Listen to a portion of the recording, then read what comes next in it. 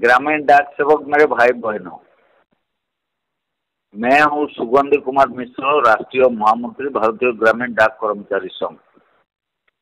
आप सबको याद होगा, डेढ़ महीना पहले हमने सबको सर्कुलर दिया था। हम पंद्रह अगस्त को पार्लियामेंट स्ट्रीट में आमरण अनशन करने जा रहा है। साथ साथ हमने ये निवेदन भी किया था और डिवीज़न में बुलेटिन छापो एक एक जीडीएस को भेजो।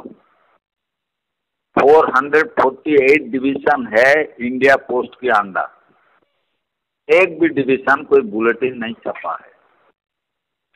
गरीब जीडीएस का पैसा खाने वाला मेरा छोटा भाई सब डिविजनल सेक्रेटरी, ये आप क्यों नहीं किया? खाली फ़ोन में पूछिएगा, मुझे संतोष जी को, किसी को है।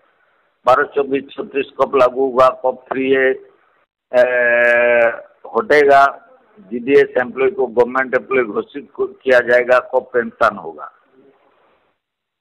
आपका कोई ज़िम्मेदारी नहीं है क्या? इसीलिए हम अनुसरण में जाऊँगा कि नहीं डिसीज़न लेगा। एक हफ़्ता के अंदर मेरा सारे ग्रामीण डाक सेवक और डिवीज़न में बुलेटिन छाप के जो डिमांड हमने दिया है सारे देश को चार्टर ऑफ़ डिमांड हमने सर्कुलेट किया और डिमांड को तुरंत बुलेटिन में लगा के अपना अपना लैंग्वेज में और रीजन में एक एक लैंग्वेज है। अपना अपना रीजन में अपना अपना लैंग्वेज दे के बुलेटिन छाप के पाँच पाँच कॉपी बुलेटिन दिल्ली भेज दीजिए। नंबर टू भारतीय ग्रामीण डाक कर्मचारी संघ डीओपीटी के आदेश के अनुसार कोई भी फेडरेशन में फेडरेटेड नहीं है। इसीलिए सेंट्रल बीएमएस की तरफ़ से जो प्रभारी लगाया गया, और जीडीएस में कोई प्रभारी आज तक तो नहीं है। इसीलिए one man committee Kamlesh Chandra ji committee की सुपारिश के मुताबिक हम जीडीएस के लिए अलग फेडरेशन, दो यूनियन बना रहा है। ये ध्यान में रखते हुए आप स्टेपिंग के बारे में इंतज़ार कीजिए। दस तारीख पटना में अधिवेशन है। वो अधिवेशन से हम डिक्लेयर करेंगे। जीडीएस के लिए अलग फेडरेशन होगा।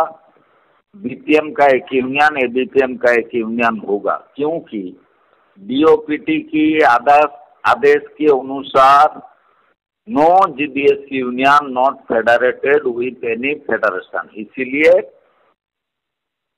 कोई भी फेडरेशन का साथ अभी तो जीडीएस यूनियन का कोई संबंध नहीं है। आज जीडीएस यूनियन के लिए सेंट्रल बीएमएस की तरफ़ से कोई प्रभारी नहीं है। जब तक प्रभारी नियुक्त नहीं होगा, तब तक GDS union ten percent quota direct central BMS को भेजेगा। नमस्कार बंदे मातरम भारत माता की जय।